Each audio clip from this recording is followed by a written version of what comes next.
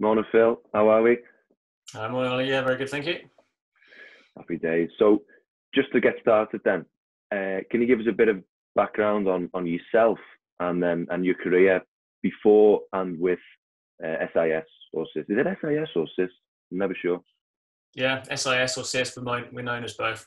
So yeah, I'm uh, I've been in the industry for about 22 years. Um, I started out as a as a groundsman at uh, my local team, Ipswich Town Football Club. Um, I yeah. worked at Portman Road as a stadium groundsman. I was there for about six years, um, and before before I came on board with SIS in 2004. So I've been with SIS for 16 and a half years now, and I've been working initially hands-on, um, installing synthetic artificial pitches all over the country in the UK. Um, and then that, that sort of broadened out to, to, working more on again on natural pitches um, on the continent as well as in the UK, um, and then on to construction of pitches, whether that be natural or synthetic, um, and then eventually from 2015 working on uh, on the hybrid side of things with, with Sisgrass, and that's where uh, where I am today. And so, you mentioned Portman Road and, and, and as as a groundsman and that type of thing. Just tell us a bit. What is some of the day to day roles as a groundsman there? So, as I was a stadium groundsman there, um, I was in charge of looking after that pitch on a day to day basis, whether that just be normal maintenance or match preparation. Um, at the time when I was there, Ipswich were flying a little higher than what they are today. So, I saw them get promoted to the Premier League in 2000, which was nice. So we had some decent decent football matches going on, so it was good. And we also had some England internationals. So yeah, it was very varied. Um, and yes, at the time I very much enjoyed. Um, but yeah, the, the, roles were anything from you know daily mowing of the pitch, marking it out, repairing it, um, and general duties really to do with that. The, the links are obvious between what you do now and what you do then, and so I mean that's obviously helped. But are there any any reasons why that might have hindered what you do now, what you were doing before? Um, no, I think the fact I've, I was a groundsman, and a lot of the people I deal with on a day-to-day basis are a groundsman, whether that be in football, rugby, cricket, or tennis. You know, a lot, all the people, all, all turf people in the industry can relate to things if you've if you've worked there, and I think that comes across, and it helps me understand you know, from the, from the customer's point of view, a little bit better maybe. Um, some of the things they go through on a day-to-day basis because I've been there and I've done that, you know, um, previously. So no, I think that helps me. And and how difficult was it to make a transition from what you were doing before to maybe something a bit more business-minded or, or, or slightly different? Um, initially, it was a yeah, it was a big change. I hadn't done anything other than be a groundsman until I joined SIS, and it was a big change going from working on an actual turf pitch every day to yeah to coming into the world of synthetics and uh, and construction, which I'd never never done before. So so no, it was a bit it was a big change, um, but it was something I thrived on. Um, I, I can't see myself. I couldn't have seen myself staying as a groundsman for much longer at Ipswich. I wanted to broaden my horizons, so so that's why I moved on and joined SIS, and I haven't really looked back to be honest. I've been able to uh, to get involved with with all aspects of yeah synthetic, natural, and now hybrid whether that be maintenance, construction, or um, or anything else. You know, it's it's been very varied and something I really enjoy. And so then, just to to get stuck into it more, SIS, CIS, pitches. What is it exactly, and what is it that you do? So SIS Pitches is a is a global global business with several offices around the world. Um, we specialise in the in the design, um, the manufacture, construction, insulation, uh, and also maintenance of natural, synthetic, uh, and hybrid sports pitches. Um, so we, we do that all over the world, um, and we can offer uh, an in-house service from start to finish if, if the client requires that, and that's quite unique uh, for a company that's you know works all over the globe. Um, so that's that's SIS Pitches, and then I now I'm now focused on, on the SISGrass business side of it on the side of it, which is the hybrid. Um, so I'm now a director with SISGrass, looking after that predominantly in the UK um, and helping out the with the SISGrass internationally as well. So, so, so, what is the CIS the SISGrass exactly? Where did the idea come from, and, and what is it? So, SISGrass is the is our sort of flagship product, if you like. It's our stitched hybrid system. Um, it came about in 2015. Well, it launched in 2015. Um, it was only the second product of its type on the market, um, following a competitor who, who introduced the system many years ago. And it, uh, you know, tremendous system works very well. which is why we wanted to see what we could do and how we could uh, improve things. And that's what we did in 2015. We, we introduced new, new machinery, new technology, uh, and new ways of int- introducing this system into the market. And uh, it's worked very, very well. So, what, what sets this grass apart from, say, if someone's going to come in and use this grass to replace their pitch, what sets it apart from what they've already got or what they could go and get in the market? I think it's just the the innovation that we've brought. Um, as I said, when we when we introduced we we, we introduced new technology um, to introduce this this system into pitches, um, whether that be the accuracy of the stitching of the fibres or the speed of installation, and also the, the service we provide as well. Because because we are a company that builds pitches and we know pitches. We, we you know we, we work with pitches on a day to day basis. We're not just offering a a stitching service, if you like. We, you know, we, we do work with pitches on a day-to-day basis, and, and that knowledge comes with it. And I think that comes across with our with our service, what we um, what we bring. And so you mentioned the technology and the process. So what is that sort of in a nutshell? What what happens when you go in? So basically, when a pitch is rebuilt or it needs to be stitched with SISGrass, um, our, our machines will come along. Uh, we've got big machines and also our smaller universal machines. They all work in the same way, um, but what they're doing is introducing synthetic fibers vertically into the ground at very close centres. So every two centimetres over a, over a surface area, um, a synthetic fibre will be injected into the ground, either to a depth of 180 mil or to a depth of 90 mil, depending on the surface and the product. And, and that, that product, that process over the, over a normal football pitch of 8,000 square meters can be done in, in six, seven, six, seven days. Um, so it's a it's a very very quick process in terms of what what, what was expected many years ago. So things have moved on. So that's that's generally the process. And what you end up with, what SISGrass is, it's a natural turf surface which is synthetically reinforced, um, but that synthetic element is less than five percent. So you're actually left with a, a grass surface which is yeah more than ninety five percent natural turf. And, and you know, you, I've seen sort of been looking into it, and obviously it's, it's about in some of the big names in sports and some of the big venues. But is, is that something? Is this grass available exclusively in elite sports, or, or or is it tangible for for the likes of schools, universities, even amateur clubs? So, so in the early days of these systems, yes, it was it was the elite clubs, the big stadiums that had access to this. You know, it's uh, it's not a, it's not a small investment, and, you know, and it does, and it has been, as I say, yeah, mostly available for big clubs and, and stadiums. But what we did in 2015, we introduced new technology.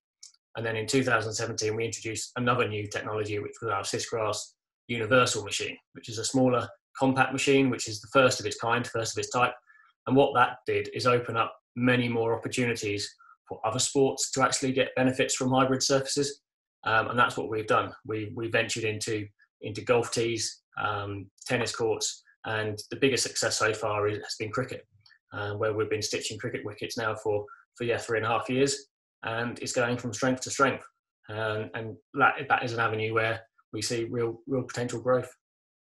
So just before we, we, we dive into cricket slightly more, uh, where are some of some of the venues or the names uh, around the world that that this is SIS is being used? So, so SISGrass, the biggest, some of the biggest names would be Barcelona, Camp Nou Stadium. We've stitched that for the last two years. Um, we've also done uh, Celtic up in Scotland. Yeah. Um, Derby County was the first stadium pitch in the, in the UK. And since then, we've done Fulham, Swansea, Birmingham City, um, to, to, name a few. Um, Newcastle will be another one. Uh, Southampton and Brighton also in the Premier League. And uh, okay, so let's move on to, to cricket then. Uh, what I haven't been a groundsman yourself. What what what are the benefits for somebody who's looking after a cricket square or a cricket pitch uh, to putting the SIS grass in there? So, so the benefits of the groundsman is the, the fact that these pitches they're so much more durable. The actual the damage that is inflicted to the surface is, is significantly reduced. So the pitches will last a lot lot longer, and the damage they will suffer is a lot less. So the actual amount of work for the groundsman post use is, is significantly reduced um, and the recovery time of that surface is actually increased. So it's sort of twofold really. So it's uh, that's the benefit from, for the groundsman's point of view. And, and tell us a bit about the, the relationship that SIS have, have built or have got with, with some top level cricket clubs in the UK. Yeah, so in 2017 was when we first sort of trialled SISGrass in cricket.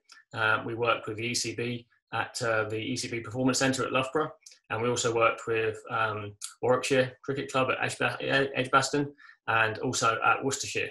Um, they were the first clubs that trialled it, and after great success at all of those venues, we started getting more and more um, demand from the rest of the, the county grounds. And I'm pleased to say we've worked at uh, 14 of the 18 now, and they've you know they've got at least one or two pitches, whether that be practice pitches or, or actual match pictures as well on the main square. So so the relationship of all those clubs is is good and it's growing, um, and I expect to be working with them a lot, a lot of them going forwards too. And just lastly, then, uh, it's the, the, the square can be used, but also is it right that they can be used in, in the nets or or on, on, on the pitch as well? Yeah, both. So the, the biggest the biggest um, benefit of these pitches is the durability and the fact that they can take a lot more hammer than a normal natural pitch. So the, yeah, the natural the natural place for these is in net net you know practice blocks where they get absolutely hammered. Um, but they have also been approved for for use in one day domestic games um, such as a T20 Blast um, in, in the UK. So the ECB approved those, those pitches for use in 2019 and several matches in, in that season and the season just gone have been, have been utilising our, our hybrid pitches. And then, so in terms of SIS as a company, uh, obviously everyone's been touched by what's been going on this year with the coronavirus. Um, what's the biggest challenge you faced as a result of, of, the pandemic? I think it was it was the initially it was the uncertainty, and then it was the the yeah the cancellation, postponement of a lot of the a lot of the orders that we had in place for the summer. Um, it couldn't really have come at a worse time. We were heading into our our busiest season um, from sort of from May to May to September, and we were faced with sudden yeah a drop of orders. Um, people understandably not sure what was happening. Those orders being cancelled, and suddenly the order book was looking very very slim. So that was the that was probably the the biggest challenge, and yeah, um, and to keep the work that we could, um, and to get through the year. And you know, fortunate enough, we did have a lot of clients who who kept a lot of the work at the back end of the year, which we were able to still work on and deliver. So we were, yeah, thankfully in a very good position compared to to some other companies who have struggled. And and the, so you mentioned before 2015 there was there was one other company that were doing exactly sort of the same thing that you were. Um, how competitive, maybe since since you've started, have you found the market that, that you operate in? Yeah, it is. It is competitive. Yeah. Um, initially, for ourselves, it was it was difficult. A new company coming into a market where one company had had the, the market share for for many many years. So getting getting our product in the ground and for people to recognise that was you know that had its had its own challenges. But since we've been on the market, there has there, there are now others on the market. There are now four four players in total. So it is getting more and more competitive.